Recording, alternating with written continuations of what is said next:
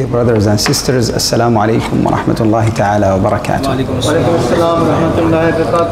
There are investment opportunities in this world, as well as there are times of mercy and blessings and giving from Allah Almighty for the hereafter. Anyone who is serious about his relationship with Allah Almighty and about the hereafter has to pay special attention to these times. And among them one hadith from the Messenger wasallam, he says, "Do goodness throughout your lives, and expose yourselves to the times of mercy from Allah Almighty, because verily there are times of special mercy and giving from Allah Almighty that touches some of His servant, whom he, whoever He likes." So if you are serious about it, you have to pay special attention to them. And among them, there are 20 special days every year. The last 10 days of Ramadan and the first 10 days of Dhul Hijjah. If we'll take a very quick glimpse or comparison between them, the first one is linked with Ramadan, a blessed month. This one is linked with Dhul Hijjah, which is a sacred month. The first one in it was the beginning of Islam. In the second one, it was the completion of the religion. And the first one, the beginning of the revelation of the Holy Quran. And the second one, the completion of the revelation of the Holy Quran. The first one is linked with Sawm, which is a pillar in Islam.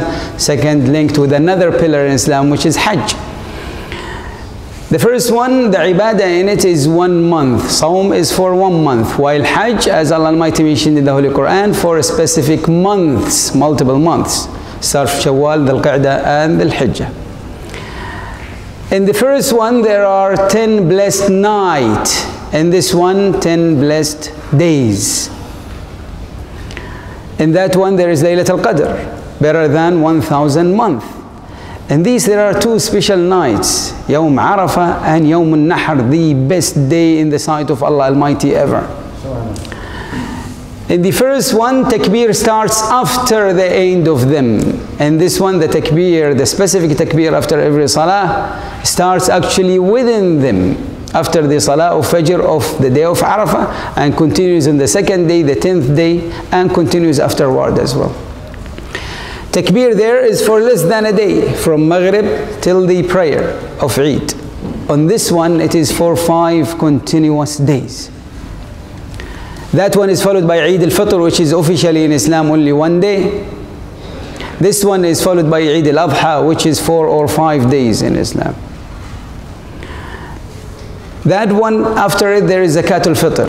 This one, within it, in the 10th day, there is al-Udhiyah. So the, the competition between them is quite strong. Now, which one is better in the sight of Allah Almighty? Unsurprisingly, these days are better in the sight of Allah Almighty and more important. However, most Muslims pay attention to which? Ramadan. And they forget about this. Now, why these days are better in the sight of Allah Almighty? The scholar mentioned is because all the principles of ibadah in Islam are found in these days. You will find in it salah and sawm and zakah and dhikr of Allah Almighty and takbir, recitation of the Holy Quran, sadaqah, udhiyah, hajj and umrah of course. Now most of these are already found in Ramadan as well. However, udhiyah is not there and hajj are, is not there. So which days are better? Back these days. Another reason is because in Ramadan, the evil is already enchained. It is easier to worship Allah subhanahu wa ta'ala. Now in these days, no, shaitan is at full swing. Probably he will increase his effort in these days to misguide people, which is true. Most people's, many of these days are days of holidays, and many people are way away from Allah subhanahu wa ta'ala. They are busy preparing for Eid or otherwise, or in their holidays. It's already they are missing. Furthermore, in Ramadan, all the Muslims or most of them are doing the ibadah already. So being part of the group is much easier for you. While in these days, most of them are not paying attention to them at all. They might not know that they have already entered or they are over. And furthermore, in Ramadan, most Muslims are already praying Qiyamul Layl and Tahajjud, and you are part of them, much easier for you. Now, in these days, many people are missing that. So, for these reasons and many others, you'll find that these days, of course, when it's more difficult to do ibadah, and when it's more exclusive, very few are doing it, the reward is going to be much more. And that is why the Messenger ﷺ said that these days are the best days in the sight of Allah Almighty out of the whole year. So what to do in them? Now, by the way, being best in the sight of Allah Almighty, they are more beloved by Allah Almighty, and the reward in them are greater. This is how they are better than the rest of them. What to do in them? The Messenger ﷺ mentioned simply good deeds. And he did not specify a specific good deed. So if you are going to do any kind of goodness in your life, pay attention to pay them and do them in these days. They will be more rewarding. We find some of the Salaf used to delay or actually to forward some of their charities throughout the year in these days because they are more rewarding. Some of them dislike to fast any non-obligatory fast if they still have obligatory fast in Ramadan until they complete the month of Ramadan. Except for these days, they will fast them. This is an opportunity you cannot afford to waste. Now what to do in them? Among them, we will highlight few that are very important and very easy, inshallah. Very few people are able to go to Hajj and get the rewards of Hajj. However, that does not mean you are going to miss on the rewards of Hajj. If you'll pay attention to pray Fajr in Jama'ah, and then remain in the masjid remembering Allah Almighty, making dhikr and dua, recitation of the Holy Quran and so on until after sunrise, after sunrise by about 15 or 20 minutes, then pray two rak'ah of ishraq or two rak'ah of duha what do you get? The Messenger ﷺ said the reward will be the reward of Hajj and Umrah. Complete, complete, complete. The reward of a complete Hajj and Umrah. So this is much easier. So you could do it in every day. You could do it throughout the year. But at least these days, because they, these are the days of Hajj, if you are missing on that, you will inshallah get the reward of the Hajj as well. Another thing to do is to fast. And it is narrated that the Messenger ﷺ never left the fasting of Ashura and the 10 days of the first of the Hijjah and three days of every month. This is a great opportunity to do the fasting as well. In fact, Al-Hasan al-Basri says that the fasting of one day in these 10 days equals the reward of 20 of two months. The rewards of two months, 60 days. I'm not aware of the basis for his saying, but most likely he has heard something. This is not something that you say after your own mind, but this is related from Al-Hasan al-Basri. May Allah Almighty be pleased with him. Uh, now, out of them, if you are very lazy, at least pay attention. Of course, when we say fasting of the din, there is no such thing of fasting 10 days. Rather, fasting nine days. The 10 days is the day of Eid, which is forbidden to fast for everyone. So it's not allowed to fast that days. This is similar to when we say the last 10 days in Ramadan, they could be nine nights only, not necessarily 10. But the idea is as a number, usually they say this.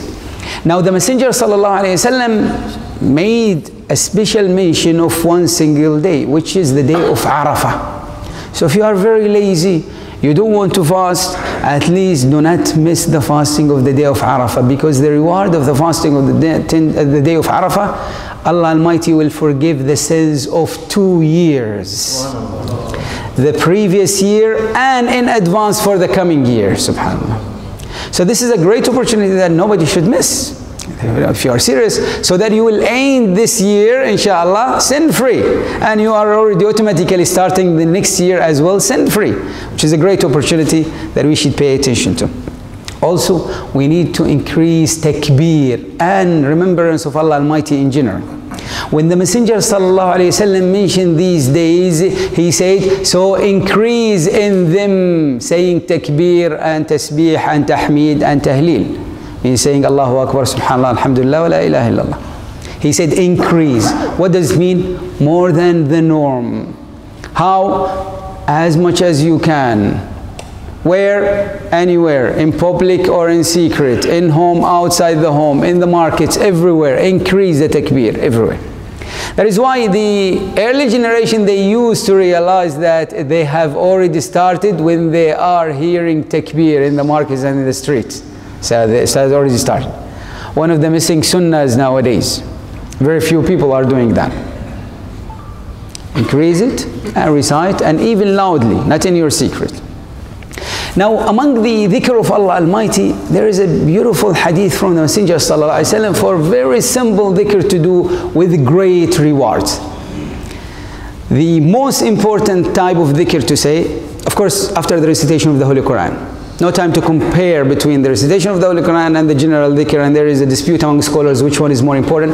But we are talking after the Holy Quran. So that is Subhanallah, Alhamdulillah, wa la ilaha illallah, Allahu Akbar. The Messenger وسلم, mentioned this in many hadith. However, in one beautiful hadith, the Messenger وسلم, encouraged us to say them 100 times in the morning and in the evening.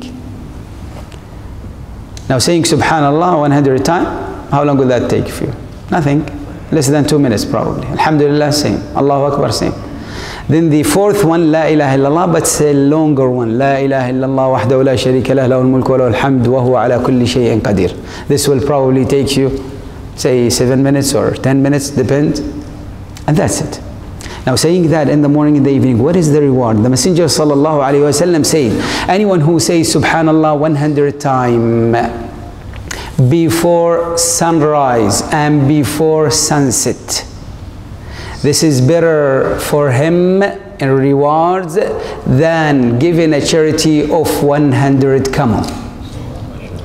So the, cheapest camel you could get nowadays, I'm not aware about the prices, but probably 10,000 or more, I don't know. So it's automatically, uh, this is better than giving, better than giving as a charity of this huge amount. It's close to a million if you're talking about 10,000. Every day for probably one or two minutes.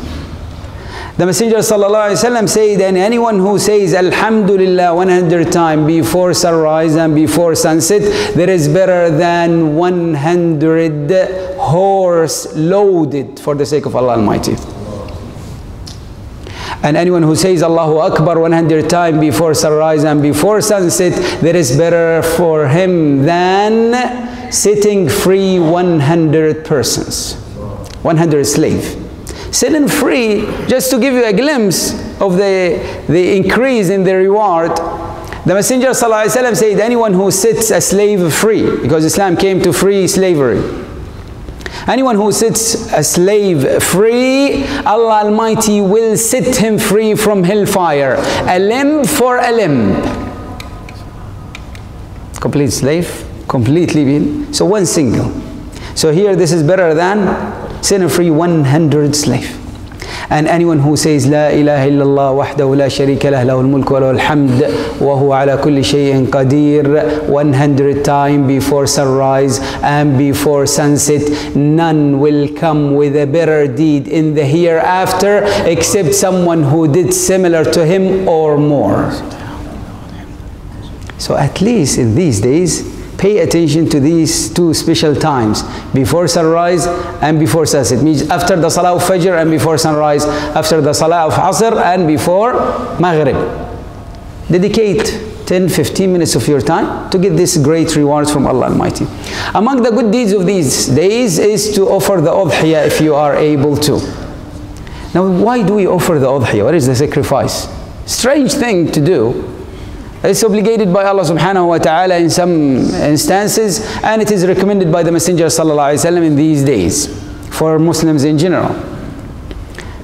Now this highly recommended sunnah was asked about by the Sahaba radiallahu They said to the Messenger sallallahu O Messenger of Allah, what is this sacrifice that we are offering? The Messenger sallallahu wasallam said, this is the sunnah of your father Ibrahim alayhi salam.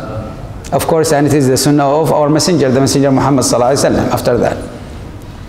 So they say, and what is in it for us from Allah Almighty? What do you get if you offer it? The Messenger ﷺ said, for every single hair you will get a reward from Allah Almighty. How many hairs in such an animal? I am not aware. I don't know. But this is a huge reward for sure. And that is why, if you can afford it, you should try your best to do it. You are dealing with Allah subhanahu wa ta'ala, and this is your actual money. Any money that you spend for the sake of Allah Almighty, this is kept for you in your bank account with Allah Almighty in the hereafter. Your account with Allah Almighty. This remains for you forever. Nobody can take it away. Any money that remains with you in this world, most likely that is not your money. This is the money of people who will inherit it after your death. You are collecting it and protecting it for them, not for yourself. You'll get nothing from it. Nothing. The only thing you will get is you will be questioned about it. Where did you get it? How did you get it?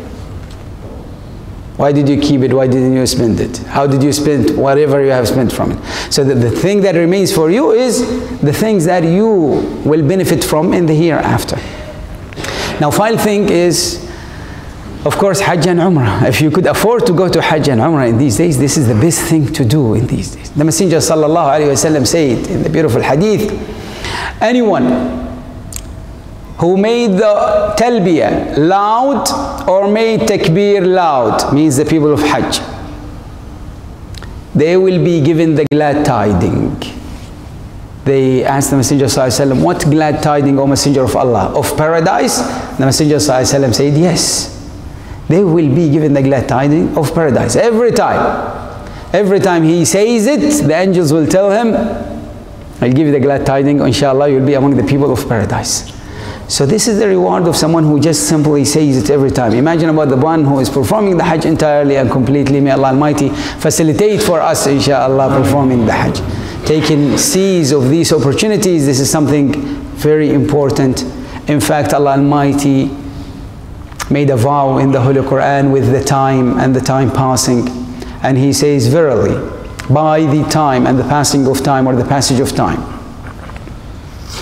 every single human being is at loss except those who believe and do good deed and advise one another of truth and advise one another to be patient means the good deeds after belief anything else in the hereafter is going to be a time of regret every person will regret even the righteous one they will regret it's a time of regret but they will regret that they, they did not increase more goodness. They did not do more. Imagine a student at the end receiving the certificate and it is missing one or two points. And he could have done better to get them. So this is the concept. No matter where you will be in the hereafter, you will still regret not doing more. So this is an opportunity as long as we are alive, alhamdulillah. That is why some people, when they used to come for advice, to the righteous people, they tell them, those people who are already dead, what do they hope for? What do they wish for? So they wish to be alive, to be able to do what? To do more good deeds. Say, okay, fine, you are still alive. Why don't you do it? This is the best advice for you. One day you will be among them.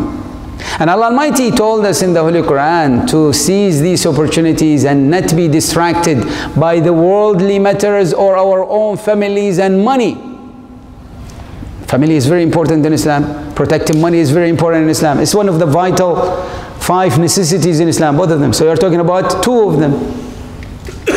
Says, do not be distracted from the hereafter. From remembering Allah Almighty. From saying takbir and tasbih and tahleel nowadays. Sadly nowadays we are not even distracted by that. We are distracted by just play.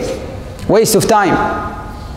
So this is a good reminder. Even if you have missed the days of Ramadan, you didn't do that much in Ramadan, Alhamdulillah, the opportunity has already started from yesterday sunset and onwards for the end of these days, beautiful days, and then continues afterward, inshallah. May Allah Almighty guide us to seize the opportunities of these good days and to benefit from them. May Allah Almighty write over us the best reward that He has written for any of His servants and righteous people in these days. May Allah Almighty guide us to follow the path of the Messenger Sallallahu Alaihi Wasallam, His Sunnah and the path of his followers. Ameen. Wa sallallahu ala Sayyidina Muhammad wa ala alihi wa sahbihi ajma'een.